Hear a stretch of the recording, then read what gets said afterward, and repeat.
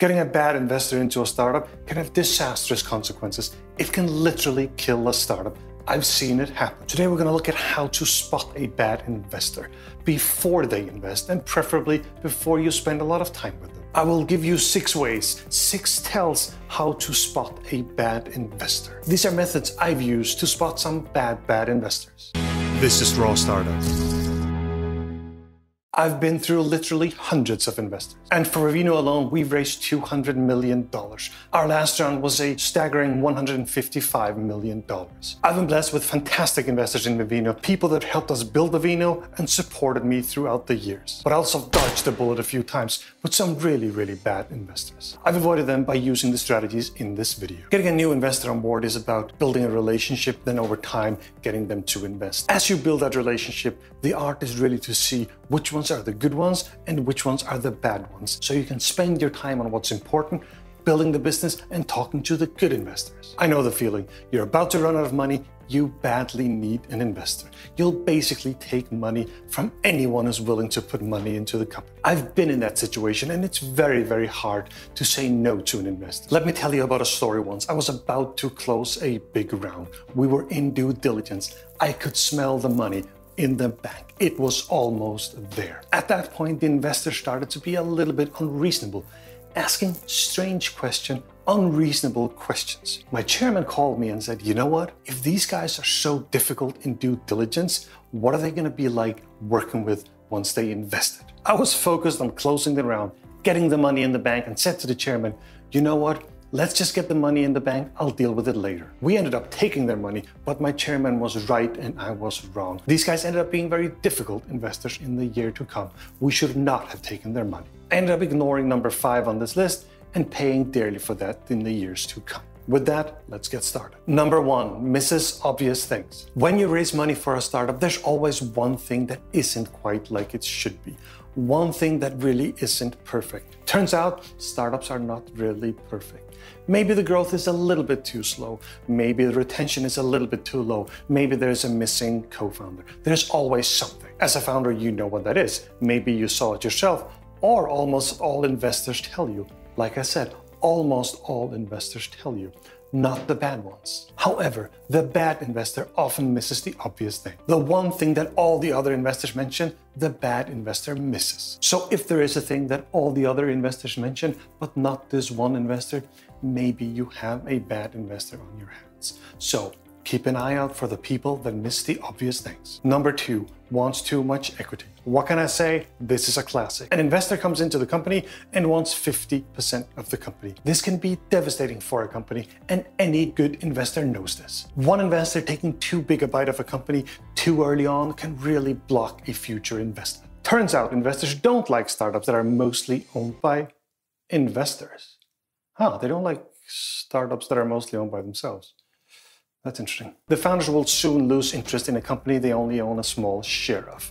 So now the investor owns 50% of nothing rather than 20% of something great. Great investors want founders and employees to own a meaningful part of the company because they're the ones that are going to build the company, not the investors. A lot of startups rely on future investments too, and this kind of behavior can really block future investments. Even a mediocre investor knows that. In theory, you can keep on doing 50% investments into a company but really, pretty soon, founders and employees will have a small, small share of the company and will lose interest. When they leave, there is no company. The investors might have to move in to save it, but they don't know how to run a company. Every investment round should be around 20% of the company. If you're above 30, you're probably in trouble. Number three, the investor is too slow. Obviously, the most annoying thing with an investor, but there might be some good news for you. The good news is that you shouldn't deal with a slow investor. Let me explain why. A great investor knows that as soon as they see a good investment, everyone else can see it too. This means that the great investor knows that it's crucial to move really, really fast before someone else takes the investment. If it's a great investment, the startup's probably talking to others too. So for the investor to move fast is crucial to get the hands on the investment. There is obviously the chance that the investor is slow because they're not that interested. Well, if they're not that interested,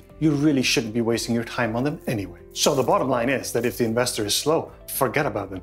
Either they're not very interested or they're just a slow, bad investor. So If they're slow, forget about it. Number four, no references or bad references. Some investors, unfortunately, become very, very different beasts once they've invested. They go from being the nicest people in the world to being a pain in the butt. The only way to find out if that's the case is to check references. Have a chat with other startups where they've invested you have to check references. Talk to the founders, it's great networking anyway. See what the investors are really like to work with post investment. If it's a big institutional investor, they have a website full of references.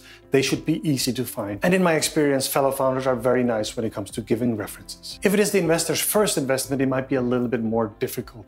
Then I would suggest you find someone that the investor has worked with. Go on LinkedIn, go somewhere. You have to check some references. Very often the investor can give you some references that you can call, but I would recommend also doing back channeling, meaning talking to people that the investor doesn't know you're talking to.